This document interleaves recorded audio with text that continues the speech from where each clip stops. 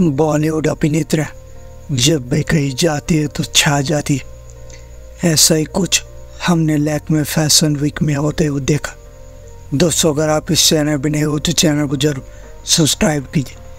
सारा अली खान ने लैक में फ़ैशन वीक के दौरान रैंप वॉक किया। सारा अली खान ग्रे कलर का लहंगा पहना हुआ था।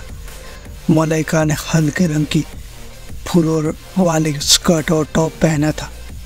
रकुल ने हाई स्लीट वाली चमकदार काली स्कर्ट और सफ़ेद टॉप पहना था। लोग उन्हें देखकर बहुत उत्साहित हुए और उन्हें लगा कि वे अद्भुत दिख रहे जब श्रुति हसन ने एक फ़ैशन शो के लिए मंच पर उतरी तो उन्होंने एक सुंदर बोरे रंग की फूलों वाली स्कर्ट और टॉप पहना था।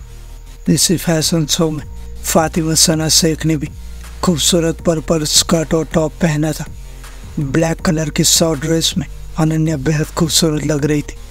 माधुरी दी स्टेज पर उतरे। सोनल चौहान ने सेजल कामदार चारों ओर पशु द्वारा तैयार किए गए कपड़े पहने।